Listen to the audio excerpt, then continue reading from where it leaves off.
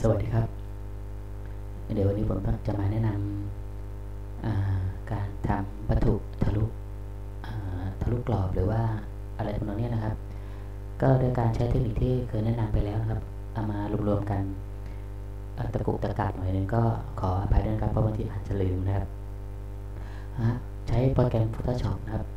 CS6 นะครับ เปิดภาพขึ้นมาเลยนะครับ พอเปิดภาพมาแล้วนี่ให้ใส่ layer ไว้อีกตัวหนึ่งครับ layer ครับ อันนี้พอได้ layer เสร็จแล้วก็เดี๋ยวให้ขยายหน่อยดีกว่าครับขยายประมาณนี้ก็ได้นะก็ได้เปิด layer เสร็จแล้วนะครับ ให้เราทำการคลิกที่เครื่องมือนี้ครับ rectangular นี่นะครับเลือกเลือกประมาณครึ่งหนึ่งหรือครึ่งหนึ่งก็ได้ครึ่งหนึ่ง แล้วก็ลากเลยนะครับ ลากเสร็จแล้วก็ปล่อยนะครับคลิกขวามาที่สโตรกนะสโตรกตัวนี้จะเป็นให้เป็นสีขาวนะครับ ให้เส้นเป็นสีขาว หรือจะสีอื่นก็ตามใจนะครับ อันนี้ใช้ความกว้างก็ของเส้นก็ 20 พิกเซลนะครับ โอเค แล้วเราก็ให้ control D control แล้วก็ D นะครับ เอาเส้นออกอต่อไปก็ control T ครับ control แล้วก็ T ปรับมุมลงมา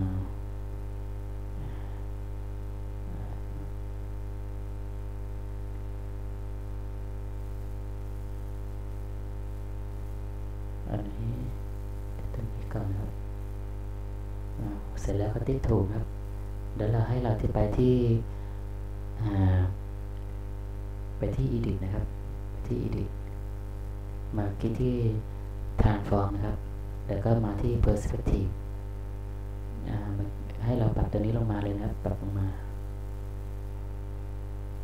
เมื่อกี้สักครู่นี้ถ้าจะทำก็control ก็ control ตัว control ก็ได้นะครับ กดค้างไว้แล้วก็ปรับ ประมาณนี้ก็ได้นะครับ เสร็จแล้วก็ให้ติ๊กถูกนะฮะจะกลับไปทำตัว control T T ก็ได้นะ เพื่อเพื่อให้กรอบมัน หมุนมาหน่อยก็ได้ครับ control T T ครับ control T นะครับ เสร็จแล้วก็ปรับปรับกรอบประมาณ ประมาณนี้ก็ได้นะครับ เสร็จแล้วก็ให้เราติ๊กถูก หรือว่าจะ enter ก็ได้นะครับอืมในนี้พอเราได้แล้วเนี่ยต่อไป ก็ให้เราไปที่ layer นะครับ layer หรือว่าจะ mark ตัวนี้ก็ได้นะครับ มาที่ layer นะครับ layer มา เร็วครับนี่ก็พอตัวนี้มาเสร็จแล้วครับขั้นตอนต่อไปก็คือให้เราใช้pen นะครับ pen ตัวนี้เครื่องมือ pen tool นี่นะครับ pen tool ให้เราทำการติ๊กตรงนี้ก่อนเลยติ๊กตรงนี้ก่อน เพราะเราจะลบจะลบช่วงเส้นนี้ออกนะครับ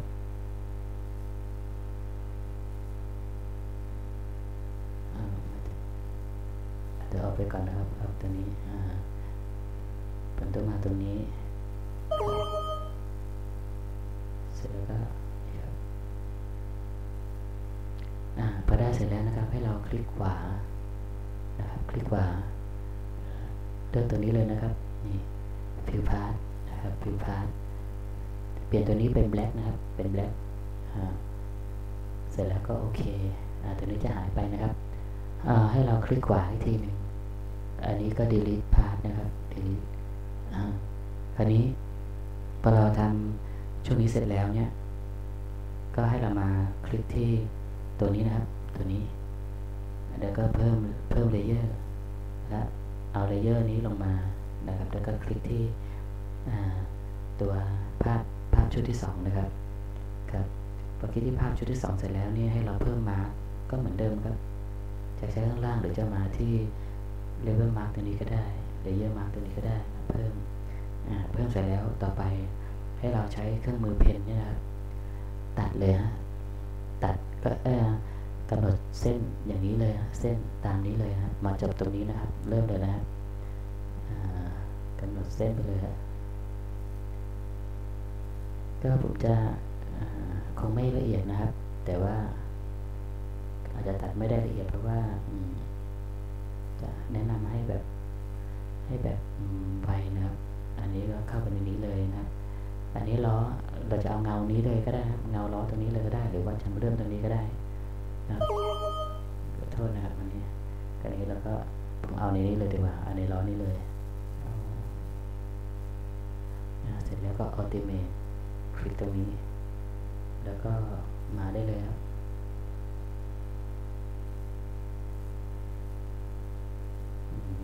จะเร็วนะครับ เพราะว่า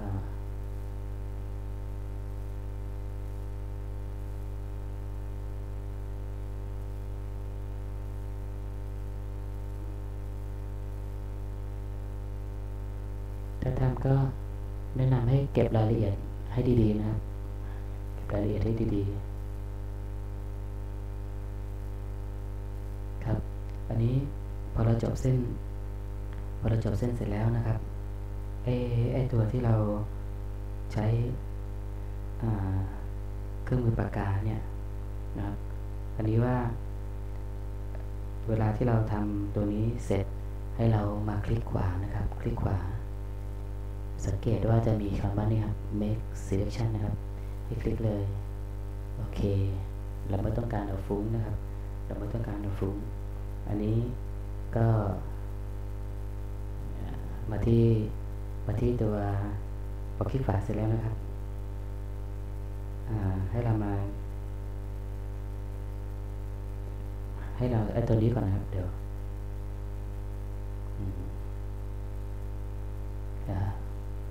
เสร็จแล้วให้เรามา คลิกที่ selection invert นะครับ selection invert ตัวที่จะอยู่ตรงตัวนี้นะครับเดี๋ยวคลิกตรงนี้ก่อน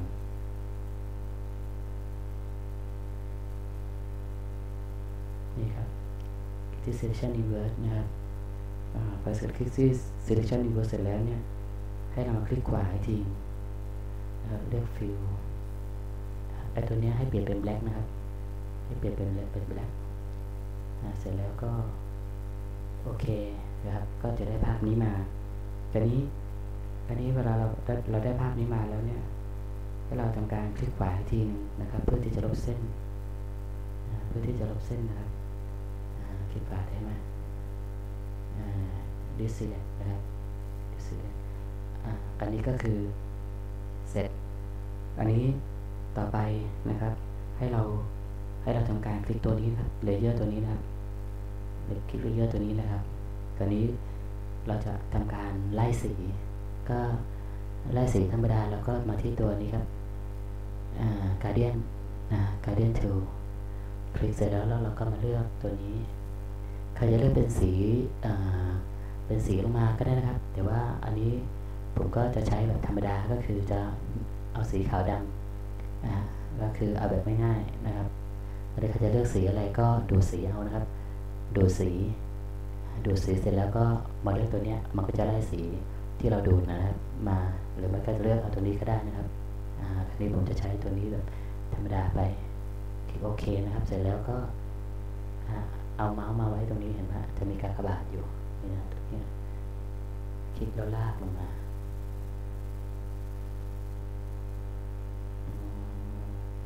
เสร็จแล้วก็ปล่อยนะครับ อันนี้ อันนี้จะเป็นจะเป็นการไล่สี